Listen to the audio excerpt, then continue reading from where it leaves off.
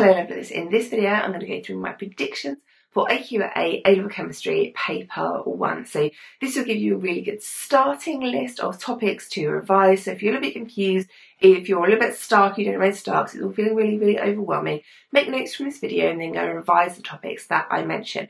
But please revise absolutely everything because we know that it could come up in a one mark question or it could come up in a linked question because I have not seen this year's paper. I'm not affiliated with any exam board. These are just my predictions. And to go with this, there's a predictive paper that I've written with questions that I think are going to come up, questions on topics that I think are going to come up.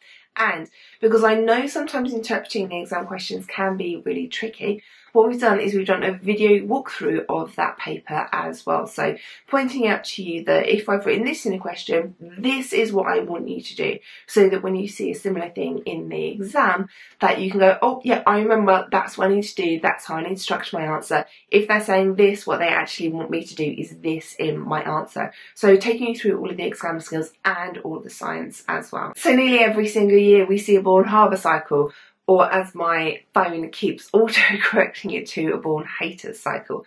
Don't know what it has against Born Haber cycles. Hopefully you like them because they come up nearly every single year. So be really confident in your lattice enthalpy, what equations you need to write on what line, how you can go two different ways to get from one point to another point.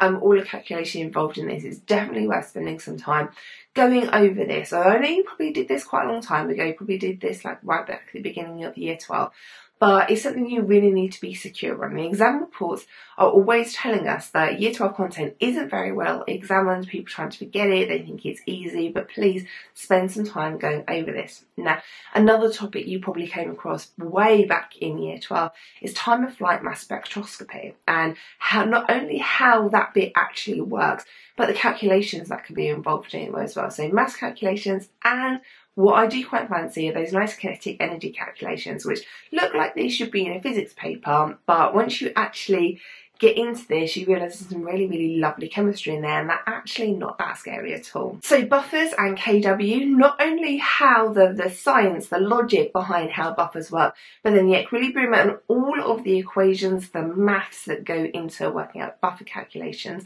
and KW calculations. A big topic that I fancy for this year are group 2 metals. Now there are lots of equations in the specification that you need to learn for this. So please, if you haven't done so already, go and get these on some flashcards, go and like memorize them. Um, remember the changes of states, remember any changes of colour that happen, because there are lots and lots of things that could be linked into this.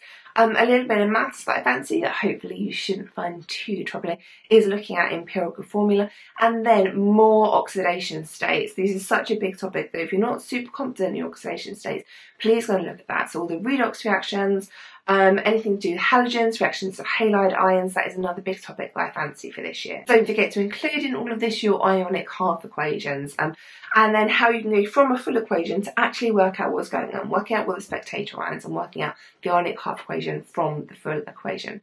Transition metals is one of my favourite topics.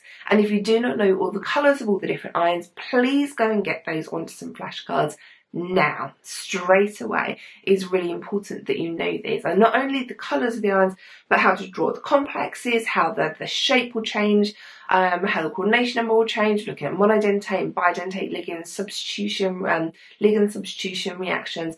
Lots and lots of really, really interesting chemistry going on there, but it's a big topic that I fancy for this year. So titrations, hopefully you're really, really secure in your titration calculations, but if not, it's definitely something to spend some time on. Um, having a look at hydrides and why they are different and slightly unusual. And then the shapes of molecules and ions is something, the bond angles, the names of shapes, drawing things, hopefully, well, something I hope that you'll be really secure in. So now you've got that list, use that as the basis for your revision. Remember to write absolutely everything. If you want to have a go at my predicted paper for this year, then it's over my website or in this playlist, the description, you can find um, the video walkthrough predicted paper along with your biology, along with your maths as well. Good luck guys, I'm going to be here with you every single step of the way. Ouch!